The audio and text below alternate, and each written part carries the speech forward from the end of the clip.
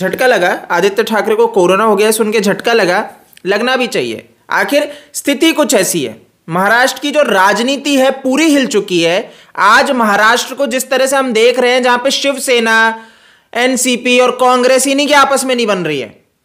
ये शिवसेना पार्टी कुछ कहती है, एनसीपी कुछ कहती है, और कांग्रेस की तो भैया, उनकी तो बात ही क्या करें? उनका तो समझ में नहीं आता क्या कहते हैं। तो ये स्थिति चल रही है। अब यहाँ पे सीन ऐसा हो जाता है। कि परमवीर सिंह जी का ट्रांसफ़र किया जाता है, क्योंकि सचिन वाजे के केस में परमवीर सिंह जी इनके अच्छे मित्र हैं, इनके लिए भैया बहुत से इन्होंने मदद कर रखी थी। अब क्या हुआ कि इनका ट्रांसफ़र हो गया परमवीर सिंह जी का भैया साथ दिया शिवसेना ने, ये कहते हैं भैया ये सब रूटीन प्रोसेस और वो कह देती है, अनिल देशमुख जी भैया ये व्यक्ति इसलिए गया है क्योंकि इसने अच्छे से ड्यूटी नहीं की। तो यहाँ पे ये दिक्कत हो जाती है, अब ये लेटर लिख देते हैं किसको? चीफ मिनिस्टर को, महाराष्ट्र के चीफ मिनिस्टर उद्धव ठाकरे को। उद्धव ठाकरे को उसमें बहुत संगीन आरोप लगाते हैं कि अनिल देशमुख सचिन वाजे को अपने पास बुलाते हैं और क्या रन करते हैं? एक्सटॉर्शन मनी का एक बिज़नेस पब्स बार्स ये सब जो रेस्टोरेंट होते हैं, इनसे रुपए लेते हैं। बीस बीस, तीस तीस लाख इतने रकम होती है और 1750 से लगभग मतलब इससे ज़्यादा रेस्टोरेंट्स पब्स और ये सारा मिला के जो जिनसे ये फिरौती करते हैं ये टोटल चला जाता है सौ करोड़ के आसपास। और ऐसे आप सोचो, ए, कितने ऐसा ही होंगे?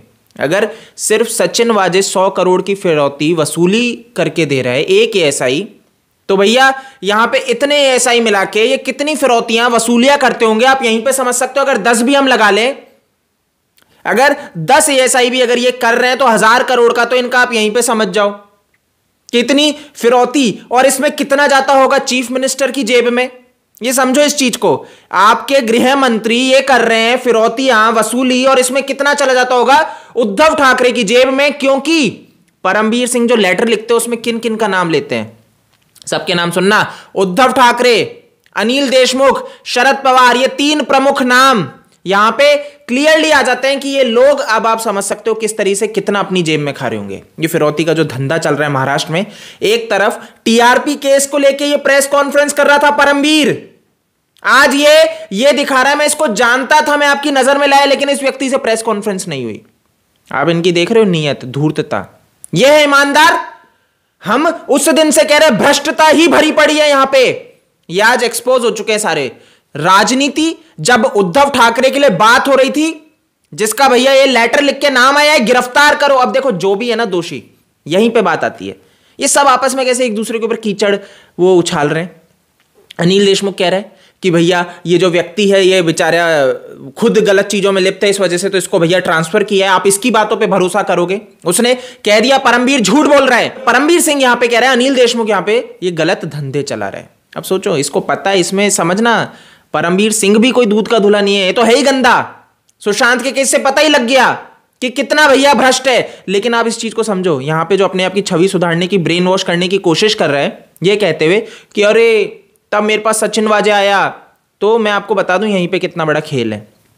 सचिन वाजे, जिसको भैया, जो खुद भैया बदनाम है, ये कितने वो हैं कि वो जाता है, उससे भैया फिरौती की मांग होती है, यहाँ पे आके वो सबसे पहले इसको बताता है, ये कुछ नहीं करता। ठीक है?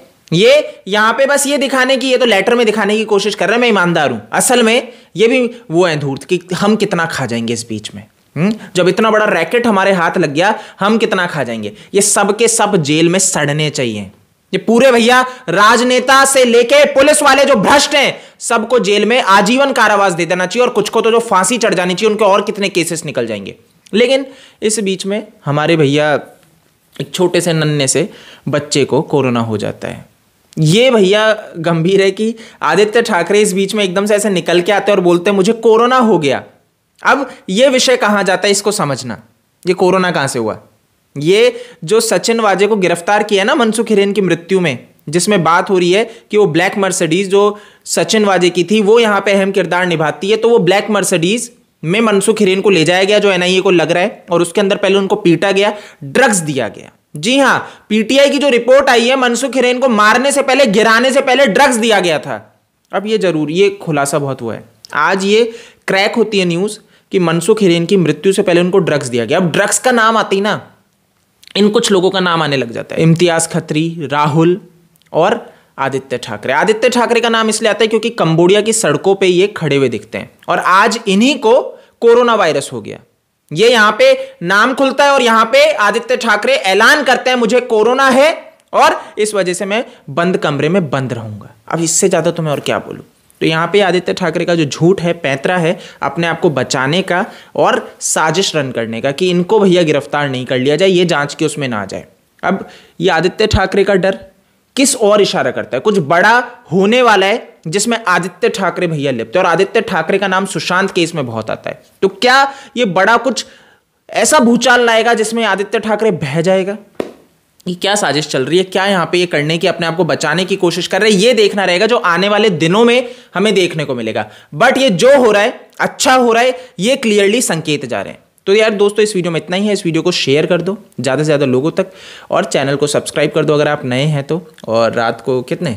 ढाई बजे बैठ के मैं आपके लिए वीडियो बना रहा हूँ तो एटलीस्ट इतना तो आपको करना बनता है। आप मेरे को फेसबुक ट्विटर इंस्टा पे फॉलो कर सकते हो। और मैं तो ये कहूँगा कर दो, है ना? जो मेरा यूज़र नेम आपको नीचे साइड में दिख रहा होगा। जय हिंद।